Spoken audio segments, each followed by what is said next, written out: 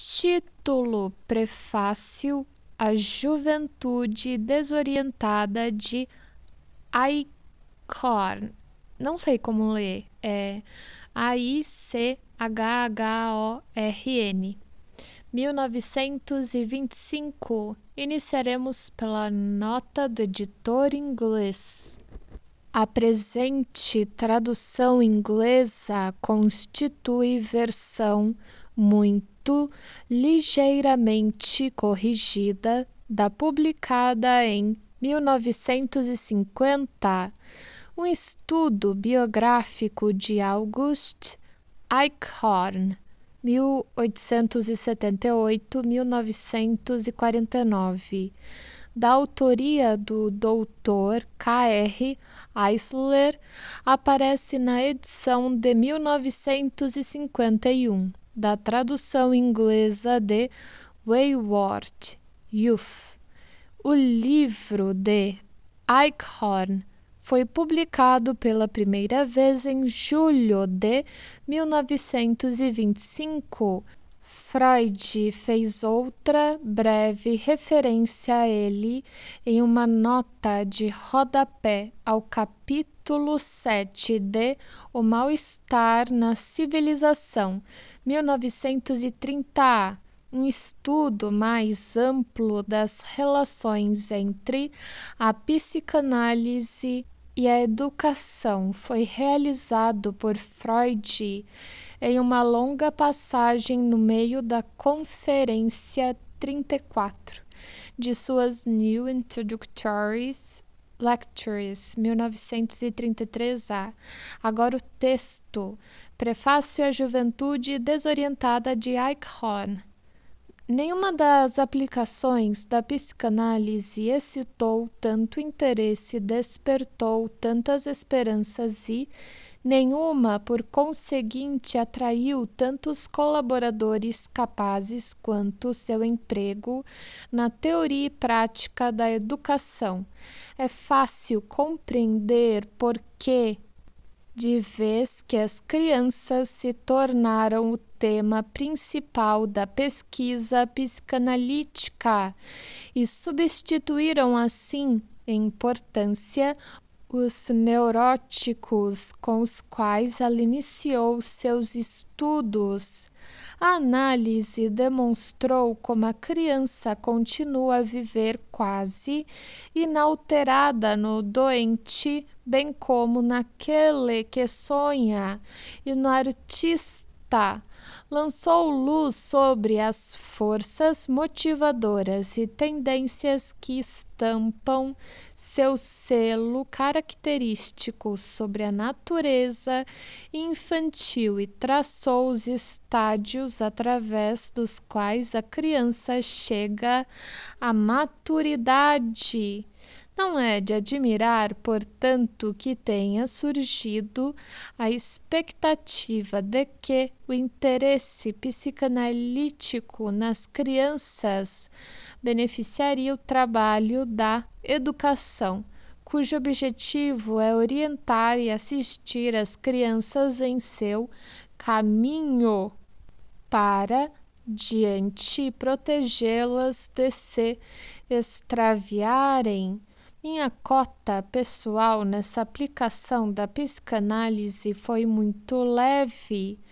Em um primeiro estádio, aceitei o bom mood que estabelece existirem três profissões impossíveis, travessão: educar, curar e governar, travessão. Eu já estava inteiramente ocupado com a segunda delas. Isto, contudo, não significa que desprezo o alto valor social do trabalho realizado por aqueles de meus amigos que se empenham na educação.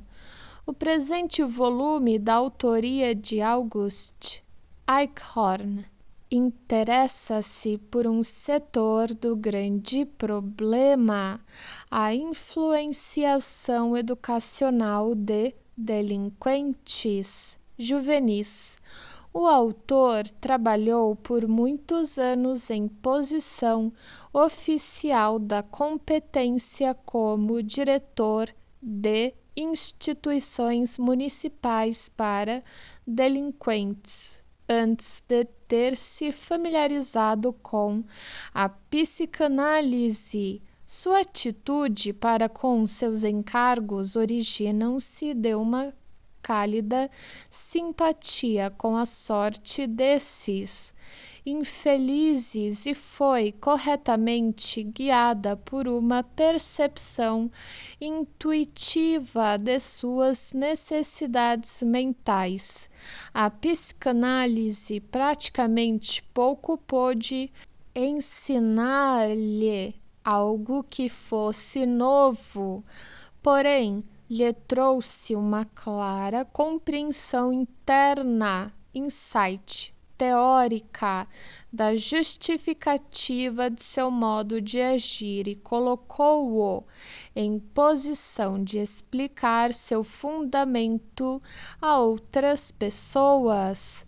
Não devemos presumir que esse dom de compreensão intuitiva seja encontrado em todos aqueles que se interessaram pela educação de crianças. Segundo me parece, duas lições se pode derivar da experiência e do sucesso de August Eichhorn.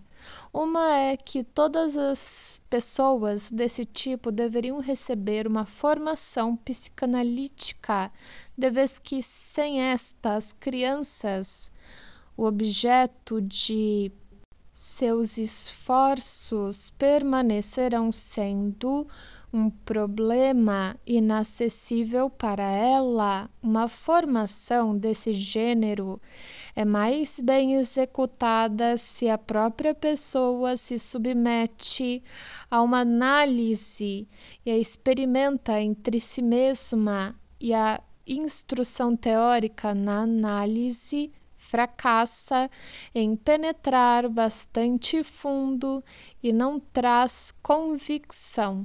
A segunda lição tem uma aura um tanto conservadora. Afirma-se no sentido de que o trabalho da educação é algo sui generis, não deve ser confundido com a influência psicanalítica e não pode ser substituído por ela. A psicanálise pode ser convocada pela educação como meio auxiliar de lidar com uma criança, porém não constitui um substituto apropriado para a educação tal substituição não só é impossível em fundamentos práticos, como também deve ser desaconselhada por razões teóricas. A relação entre a educação e o tratamento psicanalítico provavelmente logo será o tema de uma investigação pormenorizada. Fornecerei aqui apenas algumas sugestões. Não devemos deixar-nos desorientar pela afirmação travessão. Incidentalmente uma afirmação perfeitamente verídica travessão de que a psicanálise de um neurótico adulto é equivalente a uma pós-educação uma criança, mesmo uma criança desorientada e delinquente, ainda não é um neurótico e a pós-educação é algo inteiramente diferente da educação dos imaturos. A possibilidade de influência analítica repousa em pré-condições bastante definidas que podem ser resumidas sob a expressão situação analítica.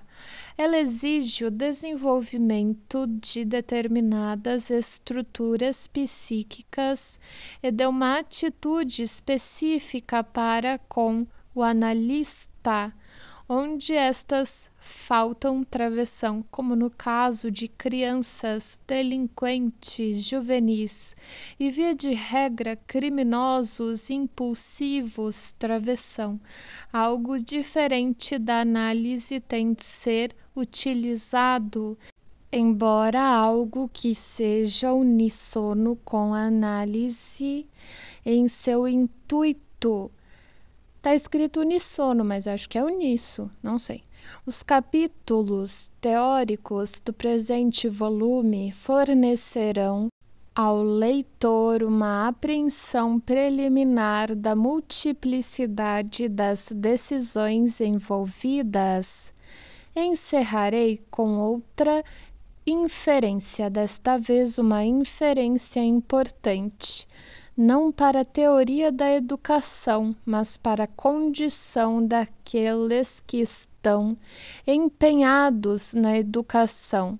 Se um deles aprendeu a análise por experimentá-la em sua própria pessoa e está em posição de poder empregá-la em casos fronteiriços e mistos, a fim de auxiliá-lo em seu trabalho obviamente deverá ter o direito de praticar a análise e não se deve permitir que motivos mesquinhos tentem colocar obstáculos em seu caminho.